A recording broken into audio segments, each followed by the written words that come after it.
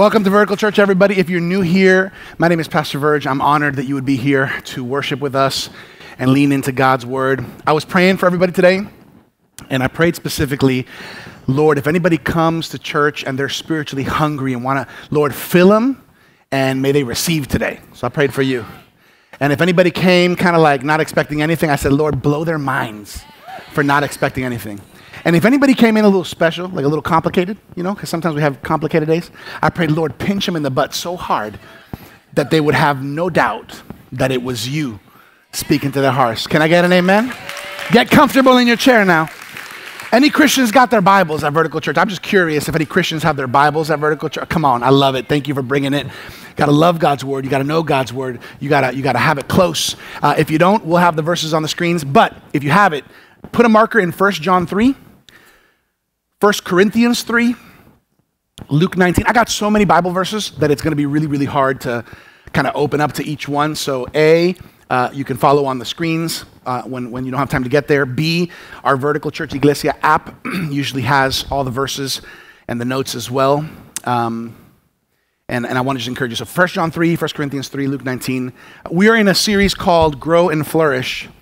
Um, last week we kicked it off um, talking about there's many ways and areas in which we can grow and flourish.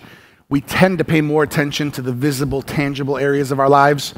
Uh, sometimes we forget about or often neglect the invisible, intangible areas like the spiritual.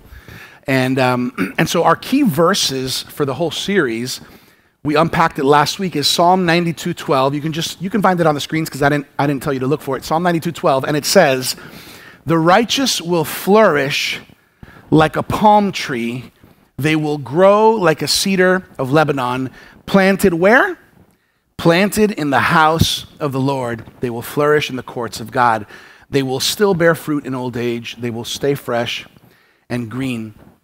And so, what we, what we did last week is we talked about this idea that in order to grow and flourish, you need the right environment and the right conditions. And last week's message was church a place to flourish.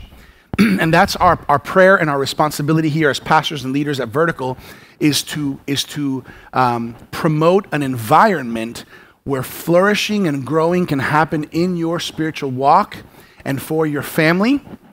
And what that needs is the right conditions and it needs the right environment. And so, part of what I'm doing in this series is unpacking how and why we do church the way we do it here at Vertical okay? And I'm connecting it to the whole concept of growing and flourishing. Why? Because not every church is created equal. Every church is a little bit different, kind of like restaurants. They're not all the same. However, we want to make sure that we're, we're majoring on the majors and that we're clear on the important things. Now, we have a clear mission and vision. God's vision and mission is our vision and mission. So I'm going to put them on the screens. Here's the four things we want to help people do. Because we see this all throughout the Bible, from Genesis to Revelation, over and over in different ways. God wants these four things to happen in people's lives. Number one, know God. Number two, find freedom. Number three, if you can help me on production, discover purpose. And number four, make a difference. Help me out. Number one, know God. Number two, find freedom. Number three, and number four, this, God wants these things for every single person. Now, today's message, we're going to focus in on the first one on know God. Okay? The title of today's message is Salvation, the Seed of the Gospel. Salvation, the Seed of the gospel. We're going to be focusing in on the first part of knowing God because the truth is, you can't even go to find freedom or discover purpose or make a difference until you first truly begin to know God. So, is it okay if we pray to begin today's service? By the way, here's what I'm going to do symbolically I'm going to take the seed from God's word and I'm going to throw it out right now, right now. And let me tell you, the seed is good. It's not a question of if the seed is good. The question is, how's the soil in your heart? By the way, we're going to expand on that next week. So let's pray. Lord, thank you for your word, because today your word will speak to our hearts. I pray, Lord, that we would be attentive, receptive, and I pray that the seeds from your word would land in good soil in every heart. In Jesus' name I pray. Amen. Amen. So, so let's start off here. First birth, then growth. Help me out. First birth, then growth. So we, we understand from many of Jesus' parables that he uses illustrations and examples from the natural world to help teach and explain spiritual principles in a way that we can understand. And it is clear throughout God's word that He wants us to grow. However, before growth, there must be birth. Okay? Jesus often speaks about a seed. I have one here. I have a sunflower seed, right? He, he often speaks about a seed. Why? Because a seed gives way to a new birth. We've been talking about that since Easter here. Uh, new life. That's where everything starts. So I want to show you a verse, 1 John chapter 3, verse 9. 1 John chapter 3 verse 9 it's talking here about children of God and just look at the terminology it says no one who is born of God born of who born of God so that's spiritually will continue to sin because God's seed, other versions say God's life, remains in them. They cannot go on sinning because they have been, here it is, born of God. So, what we're seeing here is that there's something that happens in a person's life where there's a before and an after. The Bible talks about being born again.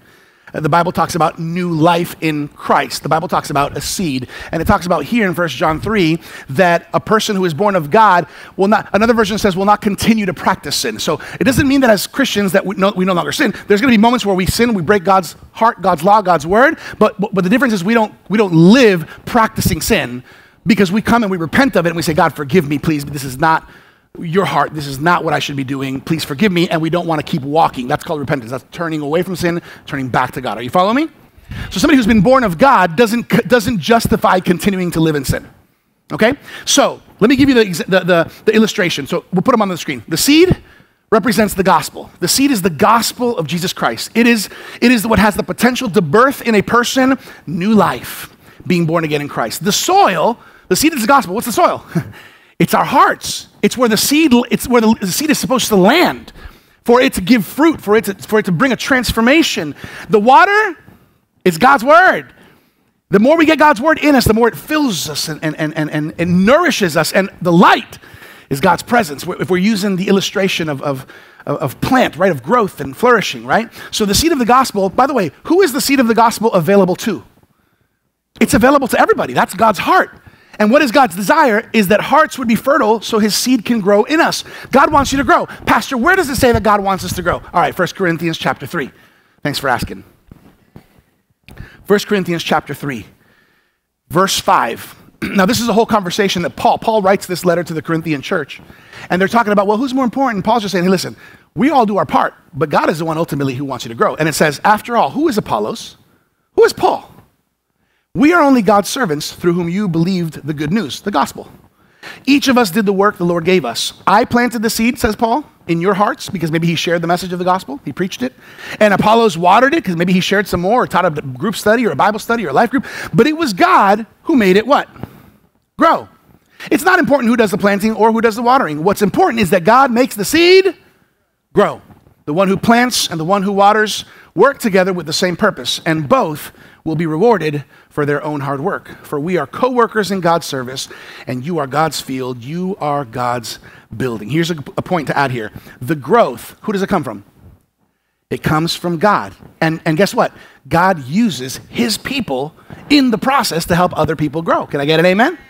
But it is clear that before there is growth, there must be birth. And, and why is, ask me why this is important. Ask me, ask me, ask me. Because there are so many people who have not been born again. Okay? They may know about God, but they don't know God. They may be good people, but they're still not saved. They may want to be saved, but they're still lost. So let's talk about the lost and the found. Come on, say it with me. The lost and the found. The lost and the found.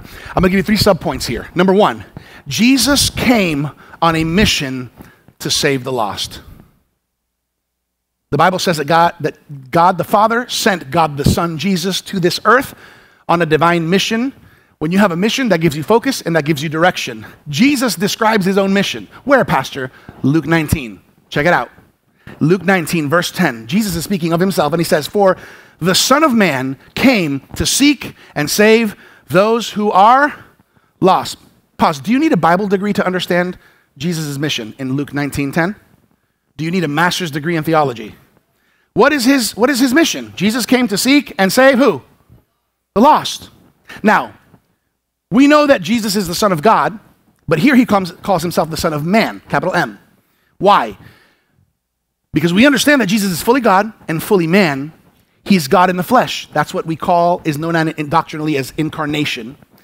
God put on flesh and came to earth as a man through Jesus, right? Why is it important to us that he is the Son of Man? Because it means that he can identify with everything that you and I go through in life. There is not a single thing that I will go through or that you will go through that Jesus has not gone through and experienced. That's why Hebrews 4:15 says, "This high priest, speaking of Jesus of ours, understands our weaknesses. Why? For he faced all of the same testings we do, yet he did not sin." So God came into our world to identify with us. He knows everything we've been through. The only difference between Jesus and us is that he never never sinned. Number 2.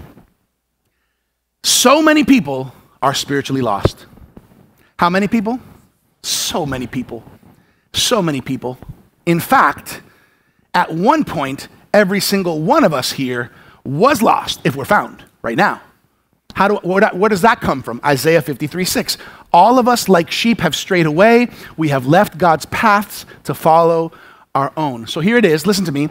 Lostness is a common condition. Without God, a person is lost. I'm not talking about a lady on the corner trying to figure out where Walmart is. I'm talking about spiritually. Are you following me? So, what, what do lost people need most? They need to be found. From God's perspective and point of view, there are only two types of people in this world, spiritually speaking. There are lost people and there are found people. According to the Bible, the lost are those people who have not yet been found. The Bible also refers to them as unsaved, ungodly, under the evil one, in darkness, without hope, without God in this world. What are they? They are lost. They simply have not come to know God. And despite whatever success they've had in life or achieved in this world, spiritually they are still in darkness.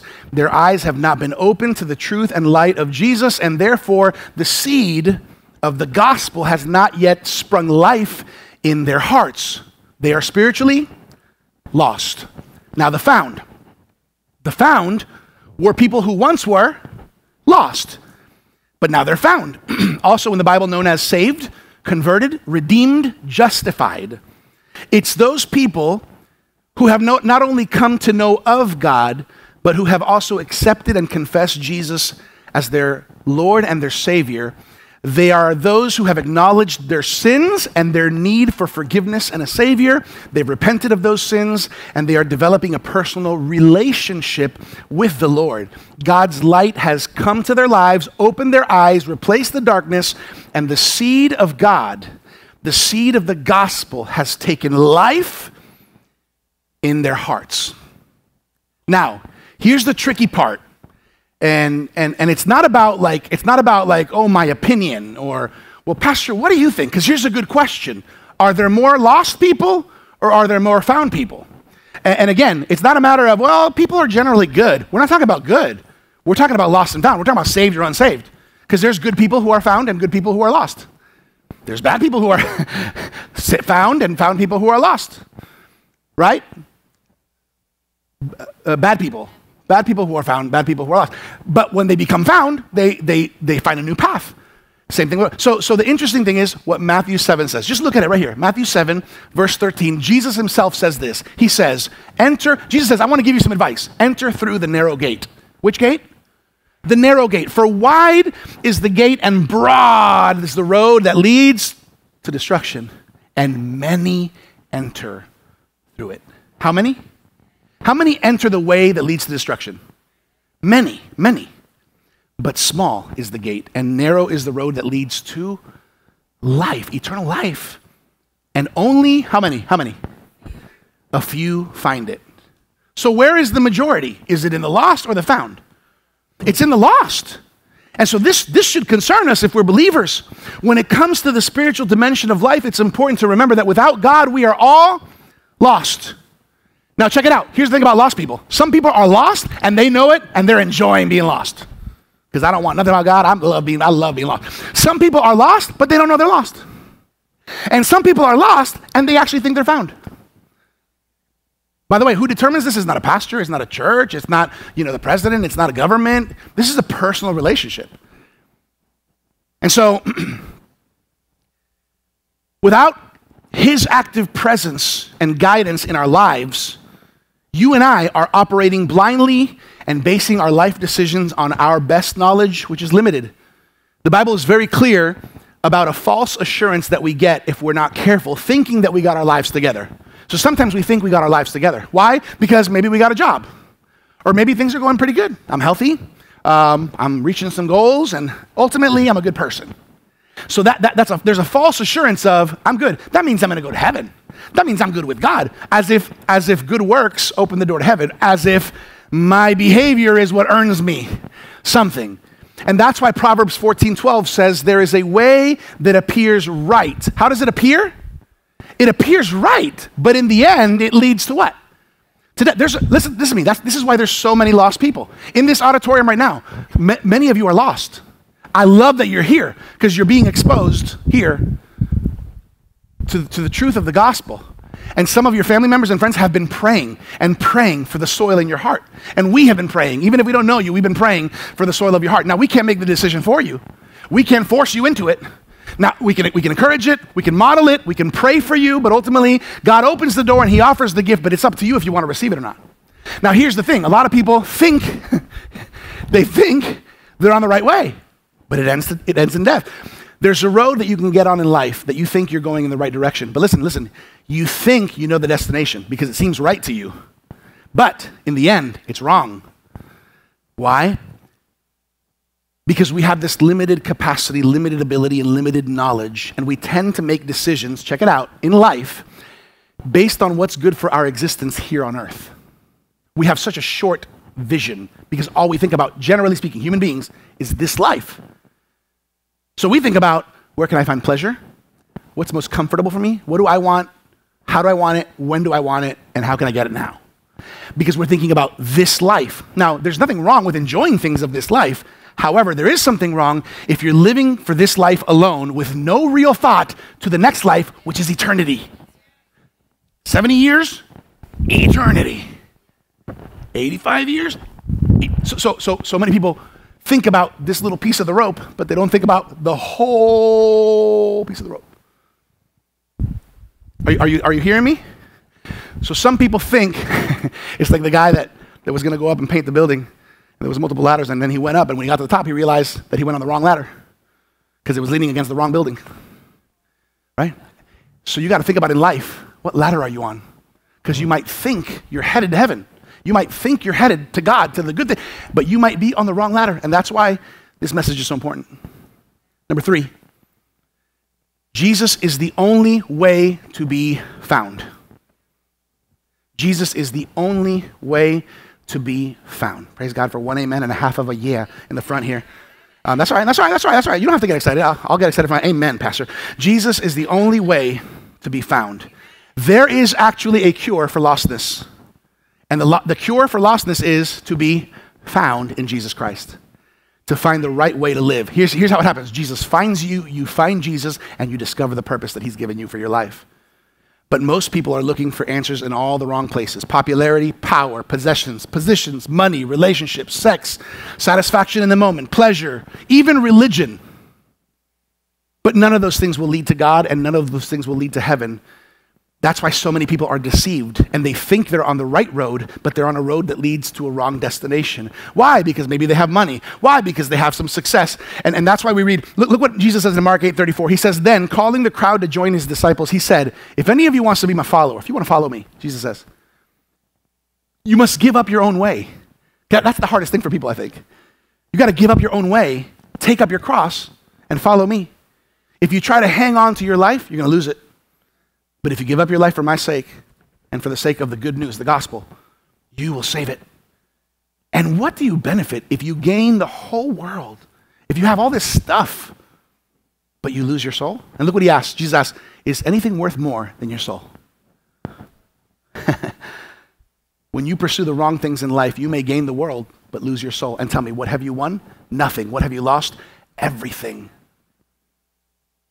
Is, Jesus asks, is anything worth more than your soul? The answer is no. And that's why I feel a passion and I feel an urgency. Like, the, like this morning, the, the Holy Spirit put an urgency in my, in, my, in my heart, you know, not for everybody. And I, and I speak to the church in general, but I speak to everybody because I know that sitting before me and connected online, there are some found and there are some lost. And the problem is that there's so many that are lost, but they don't even know they're lost. And I, and I look at the younger generation because it seems that each next generation is more lost than the previous. And it shouldn't be a surprise because half the time when I look at the kids and then I look at the parents, there's no, there's no question why they're lost because the parents are loster than them. I just made up a word. That's what happens. You get inspired.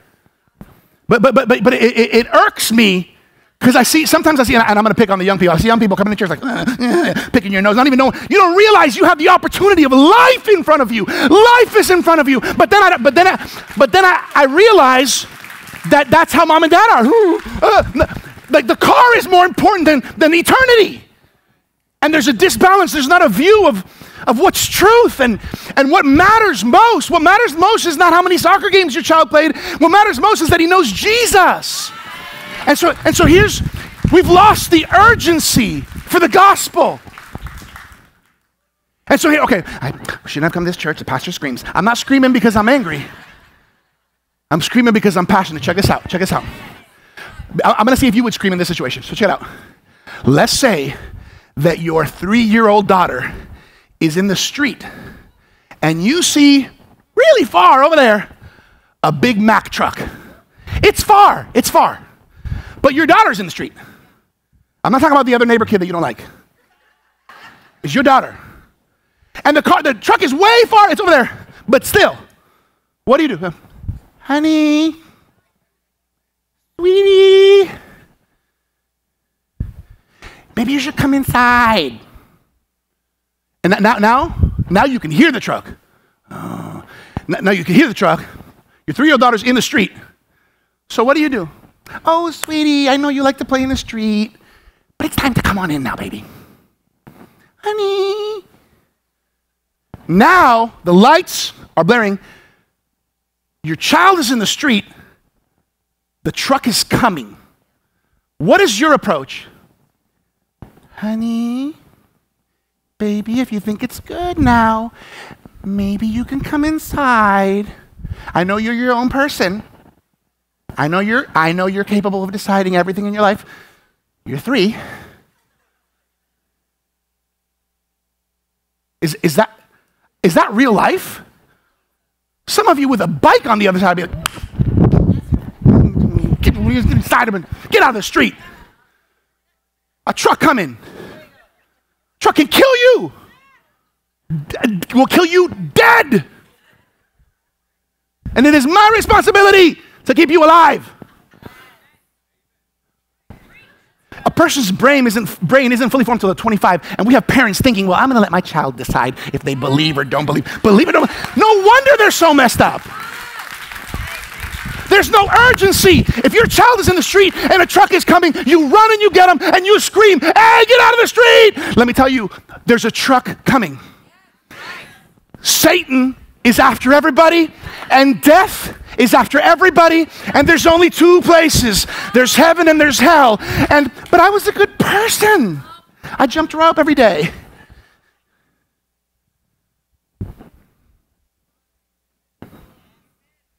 I don't like those pastors who scream. I'm not, I'm not, listen.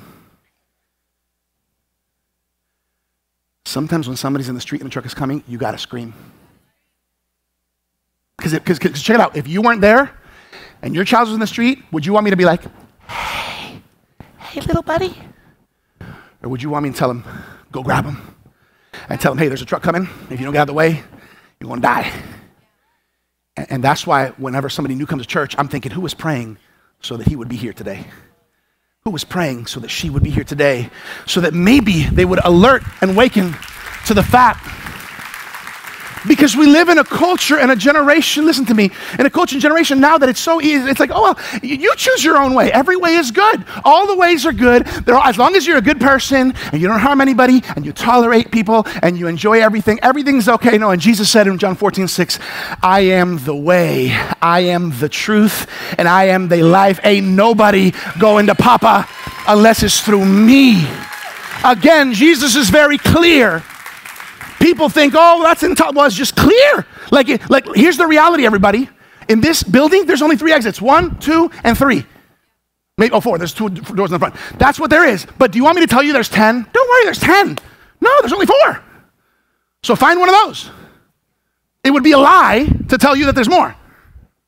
And it would be a lie to say, if you believe in Jesus, that there's other ways. Jesus came on a mission to seek and save the lost. He is the answer. This is true for people in the world who the world considers good people. How many good people we have in the house? Oh, look at all these good people. Good people are lost until they find Jesus, and Jesus finds them. This is true for people that the world considers bad people, because there's bad people. Honestly, we're all bad, but there's bad, bad people. And bad people are lost. And Jesus can find them, they can find Jesus and turn them around. And this is true for people that the world considers broken. Broken people are lost. But Jesus can find them, they can find Jesus, and he can turn their life around. Here it is. When you find Jesus, when, when Jesus finds you and you find Jesus, you're no longer lost. You are found. And Jesus is more than a cool guy and a cool movie and a hippie Jesus. No. Jesus is not just a way, Jesus is the way. He is not just a truth, He is the truth. He is not a life, He is the life. There ain't no other exit, there ain't no other ladder, there ain't no other way. It's only Jesus. Well, I don't like that. I, am sorry. I'm sorry that, that, that, that it's not your gospel, it's Jesus' gospel.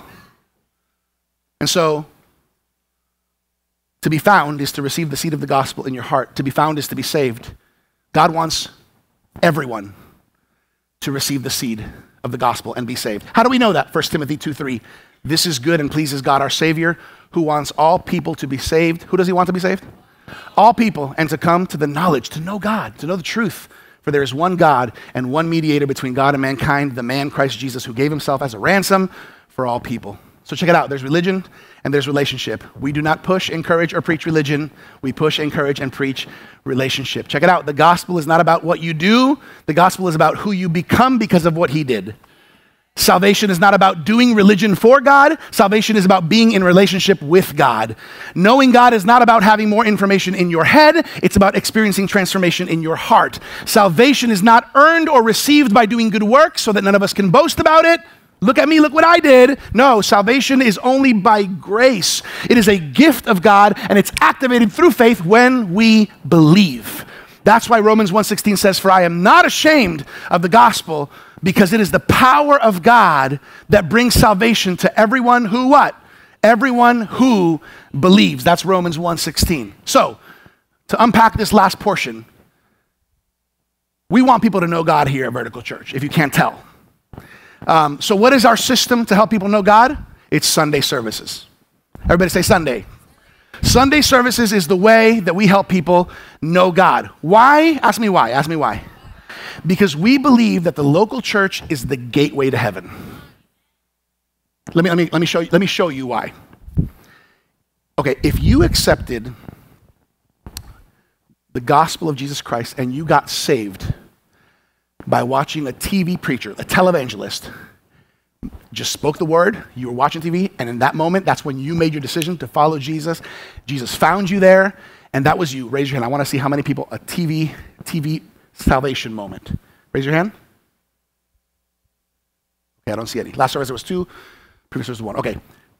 If, if it was a radio, a radio preacher or pastor, you were listening to a radio program, maybe driving or at home, whatever, radio, uh, preaching and the message, boom, just landed and you just, you understood the gospel. You made a decision. You repented of your sin. I want Jesus to be my Savior. Raise your hand if that was you on the radio. One, two, two on the radio. Okay.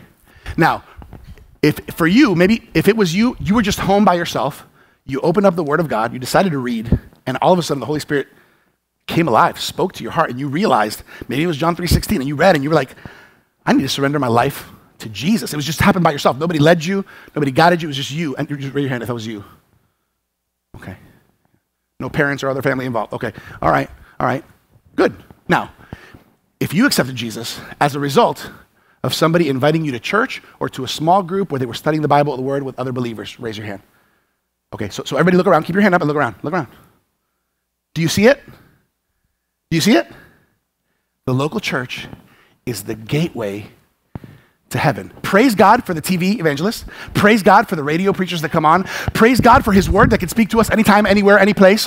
Praise God for other ways. Some of you maybe didn't raise hand because maybe I didn't say the way that it was specifically for you. But, but did you guys see the, uh, the overwhelming 95% of people? And some of you haven't raised your hand because you haven't yet become a believer. And we're praying. We're praying that the seed, of, the, the soil of your heart would be ready for this seed today. And that's okay because it's, it's God is a gentleman. He doesn't force his way in. But, but, but, but, but we need to understand this is why church is important. Now, what do we do? What do we do? Here it is on the screens. We create Sunday worship experiences that both unchurched people and believers love to attend. Can I get an amen? Um, because if we don't get this right of getting people to know God, then we can't even worry about finding freedom or discovering purpose or anything else. So on Sundays, we pray that many people who are lost would come to church and that hopefully they would receive the seed of faith in their heart. We come to worship and to receive. So those who are not saved, we pray that they would become saved. And those who are saved, we pray that they would come ready to worship, ready to, to experience God's presence, and also to serve other people and help other people reach the opportunity to know God. Why do we do it? Three reasons. Here they are. Why do we do it? Because it's the biblical model. We see it in the Bible, the importance of the church uh, for the message of the gospel to be, to be transmitted. Secondly, because we as Christians are called to continue the ministry of Jesus. And what is that ministry? To help continue to seek, to save the lost. It's, it's, it's the Great Commission to disciple people. Number three, because heaven and hell are realities. Hello? That's why. And by the way, if all this is fake, what do you lose in getting your child to come out of the street when the truck is coming? You don't lose any. And if there's no truck coming, they're still going to be safe. But if it's true, there could be a big risk in not paying attention. The Father's heart is for the lost. We see it Luke 15 has the parable of the lost sheep, the lost coin, and the lost son, also known as the prodigal son. And we see that God will leave the 99 to find the one. We see that the father is distracted by the lost because he wants to find, for them to be found. We see that in heaven, all of heaven rejoices when one person, one sinner repents and comes to faith in Jesus. By the way, light doesn't exist for light, light exists for darkness. Hello, hello. The church doesn't exist just for the church. Because some people, the type of church that they grew up in or, the, or, or, what they kind of got trained in, they want church to be what they want. Oh, well, this church doesn't do what I want. The church is not for the church, the church is for the world. Yeah. Do you realize that? Yeah. Church is the only institution that exists for its non members or its not yet members.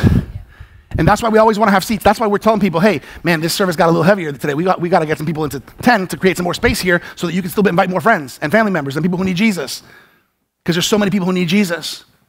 And so we exist to shine the light of Jesus. How do we do it? How do we do it in our weekend services? How do we do it? Here it is.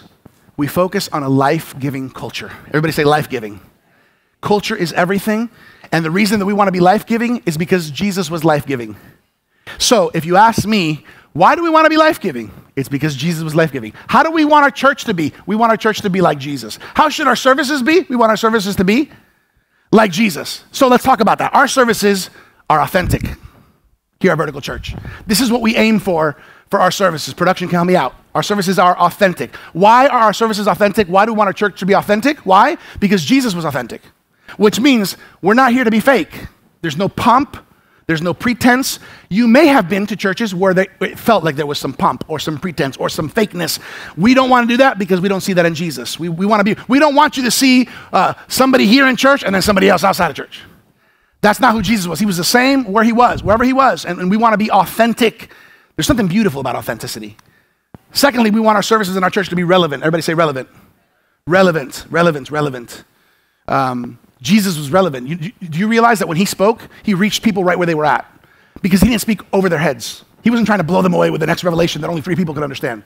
Because that's what I want, deep. He, he, he came right to them. Hey, here's a seed. Like he spoke to them in language they understood. Why? Because he was relevant. You want another, another, another way of speaking about relevant here at church? If I have an itch here, don't scratch me here. Scratch me here. Being relevant is scratching where the itch is. And today, in culture and society, there's a lot of things happening. We need to speak to how does God's word apply in today's culture and society to what your kids are going through, to what you're going through in your marriage, to what's happening at work, to the challenges and struggles you're having and the temptations that you're fighting through. Like, what is God, how is it God's word relevant to you? It's not about being cool. Relevance is not cool. It's about what matters and it's about scratching where the itch is. Are you following me? It's not cool. Like, like if I have a family of six, a Porsche, a Porsche isn't relevant to me, even though it's cool. What's relevant to me is a minivan or a big SUV, right? So, so we want to be a church that's relevant that when people come, they feel like, wow, that really passed the who cares test. Because unfortunately, sometimes you go to some churches and it's like, who cares? Nothing happened. A lot of religion, a lot of traditions sometimes will lead you to walk through motions, but nothing goes on in here. Our services are enjoyable, or at least I think they are. People, amen. Amen. Why? Why? Because Jesus was enjoyable. I mean, Jesus was enjoyable. Everybody loved Jesus. Sinners love Jesus. Skeptics, skeptics even love Jesus. Kids love Jesus. Like, like do, you want, do you know what it takes to become a kid magnet? Like, wherever Jesus was, the kids were there. It couldn't be like Jesus walking in, like, children, all you children, I am Jesus. That's not how Jesus was. He was probably, he probably had candies in his pocket. He's probably like, you're walking in. That's how you connect with kids. I, I, I love that. True story. Yesterday, we were in a restaurant, me and my wife and my three kids. There was a little girl in a little high chair right at my vision on the other table right over there. And I kept making funny faces at her the whole time. She was looking at me the whole time. And I just, I promise you that she left so happy because that funny man was keeping her entertained and, and loving her from a distance. And my wife was telling me, stop being so weird. People are going to be. I'm just using it as an example. I'm thinking, Pastor Claudia, maybe we need a new vertical kids branch of funny faces for the kids when they walk in because they're used to going to places where people are all serious. Well, well, you know, our, our services are enjoyable. Jesus was enjoyable. I rejoice with those who said to me, Let us go to the house of the Lord. Psalm 122, verse 1. There should be laughter in church. There should be fun in church. There should be generosity in church. There should be creativity in church. We, we, shouldn't be people that have to tolerate, have to tolerate going to church. We don't, look, when, when, we don't want people to be checking their watch every 10 minutes thinking, like, when is this going to be over? We want people at the end of service to say, That's it? I'll come back. I'll come back next week. It's all right. It was, it was all right. Oh, fine, I'll come back. Our services are accepting. Check it out. Jesus was pure, holy, and perfect, but he wasn't afraid to embrace imperfect people. And his holiness didn't drive people away, it actually drew people to him, which was something that the, that the religious leaders of the time were so annoyed at, and they criticized him he eats with sinners.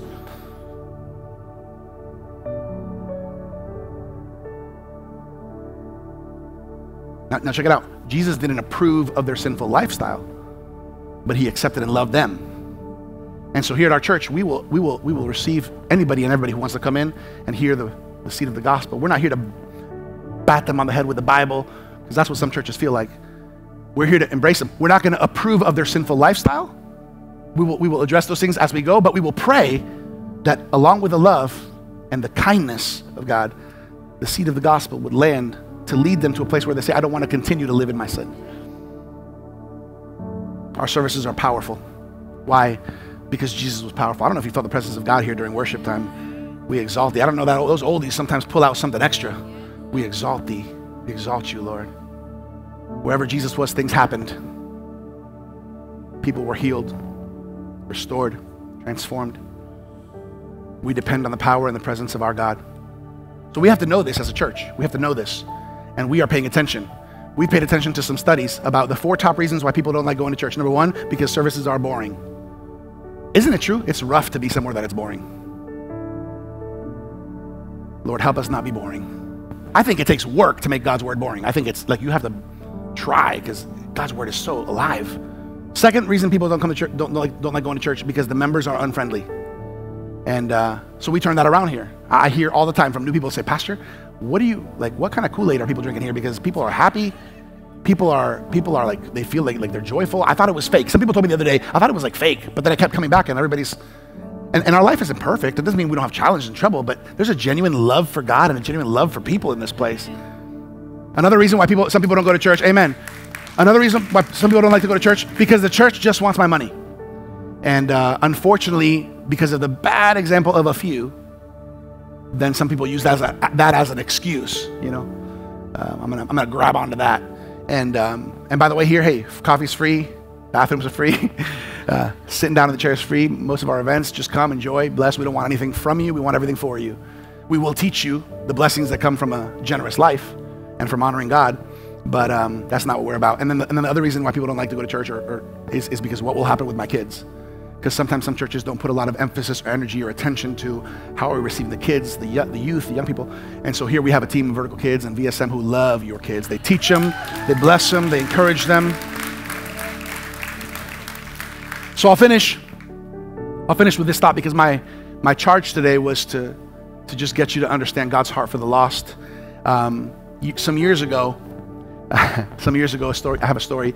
Um, my oldest son, Caleb, was probably about seven years old. And we went to Animal Kingdom, Disney World. And it happened to be the week where Pandora opened, which is a section of the park that was new that day, that week the Avatar movie thing. And, and so when we went into that section, it was a sea of thousands and thousands of people. And we were like, oh, well, we got to go because it's new. And, and so we parked the stroller in the stroller area. And then we're like walking in between people to try to get to this ride, wait in line for two hours, and ride for a minute and a half.